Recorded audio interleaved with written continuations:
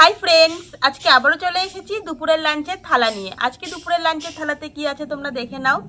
এখানে আছে আলু, কাঁকরোল, পেঁয়াজ একসাথে ভাজা, আর এখানে আছে মুসুরির ডাল। ডালটা প্রত্যেক দিনই আমাদের বাড়িতে থাকে।